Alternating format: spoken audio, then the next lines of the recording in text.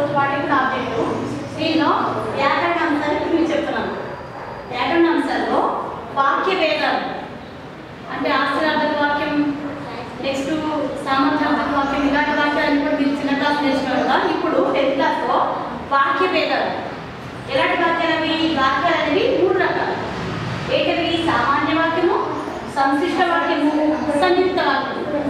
ఏంటవి వాక్యాలు మూడు రకాలు సామాన్య వాక్యము సంశ్లిష్ట వాక్యం సంయుక్త వాక్యం సామాన్య వాక్యం అంటే ఏంటి? క్రియ ఉన్నా లేకున్నా భావాన్ని ప్రకటించేది సామాన్య వాక్యం అంటే ఏంటి? నేను ఇంటికి వెళ్ళాను అని అనుకోండి. ఇంటికి వెళ్ళడంలో నేను అనేది నామవచనం అంటే సర్వనామం. నేను అనేది సర్వనామం. అంటే నా పేరు ఏంటి అనుకోండి అది నామవచనం అవుతుంది. అది కాకుండా నేను చెప్తే సర్వనామం అవుతుంది ఇంటికి వెళ్ళడం అనేది వెళ్ళడం అనేది ఏంటి క్రియ కాబట్టి ఇలా క్రియ ఉందనుకోండి దాన్ని సామాన్య వాక్యం అని చెప్పంటారు రాము మంచి బాలుడు దీనిలో క్రియ లేదు.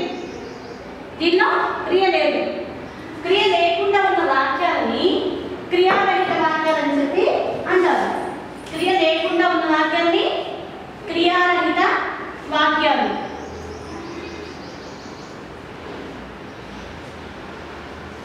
దీనిలో క్రియ ఉంది. చదువుతున్నాడు లేదా చదువుతున్నది ఉంది కదా.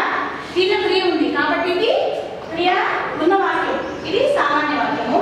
ఇలా రాము మంచి పాలు లేకపోతే మా ఊరు కొంపల్లి లేకపోతే మా ఊరికి మెట్లో చెప్పాను కదా ఇలా దీనిలో క్రియ ఎక్కడ లేదు ఊరి పేరు చెప్తాం అంతవరకు కాబట్టి ఇలా ఉన్న వాక్యాన్ని క్రియారహిత వాక్యాలు అని చెప్పి అంటాం ఇది సామాన్య వాక్యం అంటే దీనిలో ఒకటే ఒక సమాప్తి అంటే ఏంటి వాక్యం పని పూర్తవుతుంది అనమాట అది ఏదైతే పని పూర్తవుతుందో దాన్ని చెప్పేది సామాన్య వాక్యం నెక్స్ట్ సెకండ్ వన్ సంశిష్ట వాక్యం సంశిష్ట వాక్యం అంటే వాక్యంలో ఒక సమాపక్రియ అంటే ఏంటి? నేను ఇంటికి వెళ్ళాలని చెప్పాను కదా.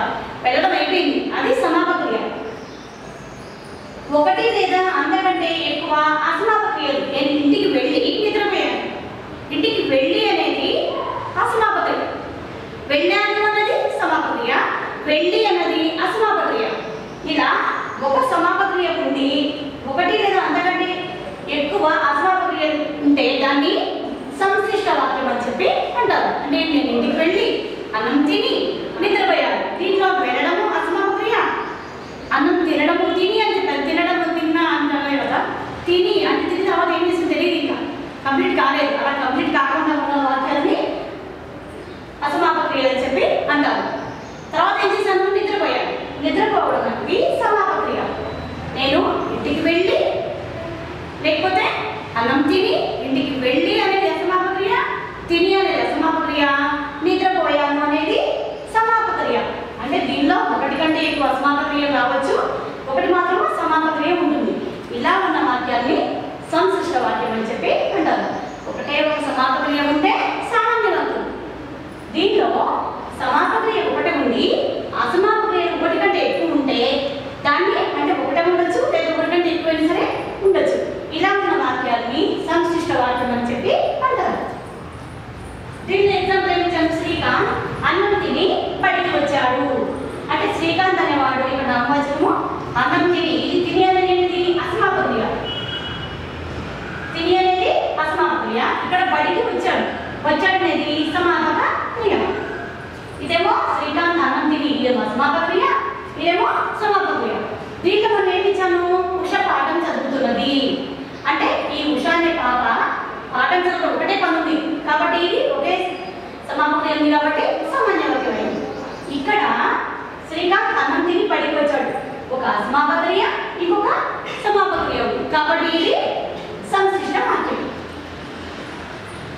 నెక్స్ట్ థర్డ్ వన్ సంయుక్త వాక్యం సంయుక్త వాక్యం అంటే సమ ప్రాధాన్యం కల వాక్యాలను కలపడం వల్ల ఏర్పడే వాక్యాలు అంటే సమ ప్రాధాన్యం గల వాక్యాలు కలపడం వల్ల ఏర్పడే వాక్యాలనే ఏ వాక్యం అంటారు సంయుక్త వాక్యం అని చెప్పి అంటారు ఎగ్జాంపుల్ సీత చదువుతుంది సమప్రాధాన్యం అంటే ఏంటి ఇక్కడ ఎవరైతే ఒక నామవాచకం ఒక పేరు ఏమైతే ఉంటుందో వాళ్ళకి ఇక్కడ రెండు రెండు వాటిలో కూడా సరేనా రెండింటికి ఒకటే ఉంటుందన్నమాట ప్రాధాన్యం ఉంటుంది.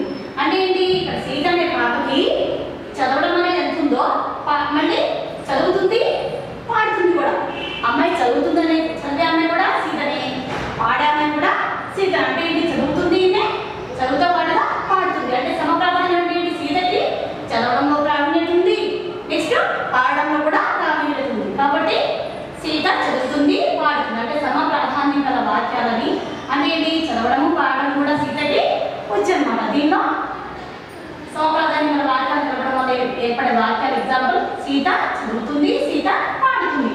నెక్స్ట్ అతడు నటుడు రచయిత. ఇక్కడేమో నామవాచకం ఇచ్చిన ఇక్కడేమో సర్వనామం ఇచ్చిన అంటే నామవాచకం ఇచ్చినా సర్వనామం ఇచ్చినా సరే అతడు నటుడు రచయిత. ఇక్కడ అతడు అంటే ఎవరో ఒక వ్యక్తి ఆయన నటుడు. అంటే ఒక యాక్టర్ కూడా ఆయనతో పాటు ఒక రచయిత ఒక పోయేట్ కూడా అవుతాడు. అంటే ఏంటి? ఇతనికి నటనలో ప్రావీణ్యత ఉంది నెక్స్ట్ రచయిత కూడా ప్రావీణ్యత ఉంది. అంటే సౌప్రాధాన్యం ఈయనకి రెండిట్లో కూడా ఉందన్నమాట. నెక్స్ట్ తిరుమల రామచంద్ర గారు ఇది మీ దశలోది ఎవరి భాష వాళ్ళ సింపులో తిరుమల రామచంద్ర గారు. తిరుమల రామచంద్ర గారు సంస్కృత ఆంధ్ర భాషల్లో పండితుడు. అంటే ఏంటి ఈ రామచంద్ర గారు అని ఆయన సంస్కృత భాషలో కూడా పండితుడు. నెక్స్ట్ ఆంధ్ర భాషలో కూడా పండితుడు. మీరు ఇలాగే సామాన్య వా- సామాన్య సంశ్లిష్ట వాక్యాలు నెక్స్ట్ సంయుక్త వాక్యాలు. అట్లీస్ట్ ఒక ఫైవ్ ఎగ్జాంపుల్స్ అంటే ఒకవేళ సామాన్య వాక్యాన్ని కలుపుతూ సంశిష్ట వాక్యం రాయడం. సంశిష్ట వాక్యంలో ఉన్నదాన్ని సామాన్య వాక్యంలో మార్చడం కూడా నేర్చుకోవాలి. Thank you